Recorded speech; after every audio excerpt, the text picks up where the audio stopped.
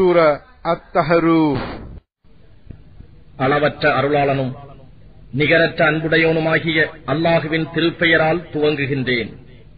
திட்டமாக மனிதன் மீது காலத்தில் ஒரு நேரம் வந்து அதில் அவன் இன்ன பொருள் என்று குறிப்பிட்டு கூறுவதற்கு இல்லாத நிலையில் இருக்கவில்லையா? பின்னர் ஆண் பெண் கலப்பான இந்திரிய துளியிலிருந்து நிச்சயமாக மனிதனை நாமே படைத்தோம். அவனை நாம் சோதிப்பதற்காக அவனை கேட்பவனாகவும் பார்ப்பவனாகவும் ஆக்கினோம். நிச்சயமாக நாம் அவனுக்கு வழியை காண்பித்தோம். அதை பின்பற்றி நன்றியுள்ளவனாகவும் இருக்கின்றான் அல்லது அதை புறக்கணித்து நன்றி அற்றவனாகவும் இருக்கின்றான். காவிர்களுக்கு சங்கிலிகளையும் அரிகண்டங்களையும் கொழுந்து விட்டெறியும் நரக நெருப்பையும் நிச்சயமாக நாம் தயார் செய்திருக்கின்றோம். நிச்சயமாக நல்லவர்கள் சொர்க்கத்தில் குவளைகளிலிருந்து பானம் அருந்துவார்கள். அதன் கலப்பு காஃபூராக கற்பூரமாக இருக்கும். காஃபூர் ஒரு சுனையாகும்.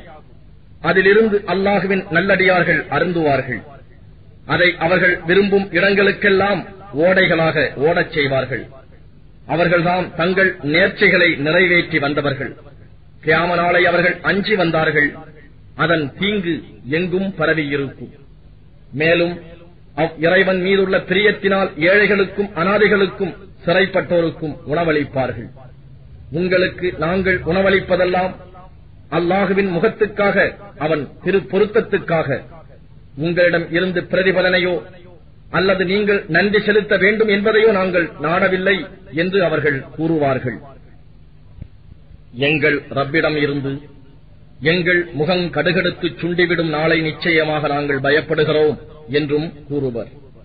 எனவே அல்லாஹ் அந்நாளின் தீங்கை விட்டும் அவர்களை பாதுகாத்து அவர்களுக்கு முகச் செழுமையையும் மன மகிழ்வையும் அளிப்பார்.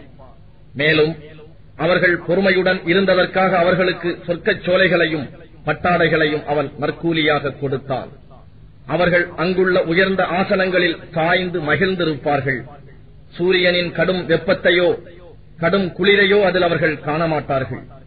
மேலும் அதன் மரநிழல்கள் அவர்கள் மீது நெருங்கியதாக இருக்கும். அன்றியும் அதன் பழங்கள் மிக தாழ்வாக தாழ்ந்திருக்கும். பானங்கள் வெள்ளி பாத்திரங்களையும் பளிங்கு கிண்ணங்களையும் கொண்டு அவர்கள் மீது சுற்றி கொண்டு வரப்படும். அவை பளிங்கல்ல வெள்ளியினால் ஆன பளிங்கை போன்ற தெளிவான கிண்ணங்கள். அவற்றை தக்க அளவாக அமைத்திருப்பார்கள்.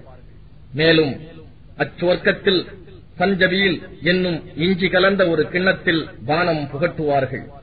சல்சபியில் என்ற பெயருடைய ஓர் ஊற்றும் அங்கு இருக்கிறது. இன்னும் அந்த சொர்க்கவாசிகளை சுற்றி எப்போதும் இளமையோடு இருக்கும் சிறுவர்கள் சேவை செய்து வருவார்கள். அவர்களை நீர் காண்பீரானால் சிதறிய முத்துக்கள் எனவே அவர்களை நீர் எண்ணுவீர். அன்றியும் அங்கு நீர் பார்த்தீராயின் இன்ப பாக்கியங்களையும் மாபெரும் அரசாங்கத்தையும் காண்பீர். அவர்களின் மீது சுந்துஸ் இஸ்தபரக் போன்ற பச்சை நிற பூம்பட்டாடைகள் இருக்கும். இன்னும் அவர்கள் வெள்ளியாலாகிய கடகங்கள் அணிவிக்கப்பட்டிருப்பர். அன்றியும் அவர்களுடைய ரப்பு அவர்களுக்கு பரிசுத்தமான பானமும் புகட்டுவான். நிச்சயமாக இது உங்களுக்கு நற்கூலியாக இருக்கும். உங்களுடைய முயற்சியும் ஏற்றுக்கொள்ளப்பட்டதாயிற்று என்று அவர்களிடம் கூறப்படும். நிச்சயமாக நாம் தான் இந்த குரானை சிறுகச் சிறுக இறக்கி வைத்தோம் ஆகவே உம்முடைய ரப்பின் கட்டளைக்காக பொறுமையுடன் எதிர்பார்த்திருப்பீராக. அன்றியும் அவர்களில் நின்று எந்த பாவிக்கோ அல்லது நன்றி அற்றவனுக்கோ நீர் வழிபடாதீர். காலையிலும் மாலையிலும் உம்முடைய ரப்பின் திருநாமத்தை தஸ்பீர் துதி செய்து கொண்டிருப்பீராக. இன்னும் இரவிலும் அவனுக்கு சுஜூது செய்வீராக.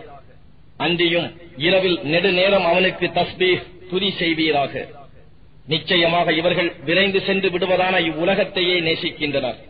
அப்பால் பழுவான மறுமை நாளை தங்களுக்கு பின்னே விட்டு புறக்கணித்து விடுகின்றனர். நாமே அவர்களை படைத்து அவர்களுடைய அமைப்பையும் கெட்டிப்படுத்தினோம். அன்றியும் நாம் விரும்பினால் அவர்கள் போன்றவர்களை அவர்களுக்கு பதிலாக மாற்றிக் கொண்டு வருவோம். நிச்சயமாக இது ஒரு நல்லுபதேசமாகும். எனவே யார் விரும்புகிறாரோ அவர் தம்முடைய ரப்பின் பால் செல்லும் வழியை தேர்ந்தெடுத்துக் கொள்வாராக. எனினும் அல்லாஹ் நாடினால் அன்றி நீங்கள் நாடமாட்டீர்கள். நிச்சயமாக அல்லாஹ் நன்கறிந்தவன் ஞானம் மிக்கவன். அவன்தான் விரும்புபவரை தன்னுடைய ரஹ்மத்தில் புகுத்துகிறான். அன்றியும் அநியாயக்காரர்களுக்கு நோவினை செய்யும் வேதனையை அவர்களுக்காக சித்தம் செய்து வைத்திருக்கின்றான்.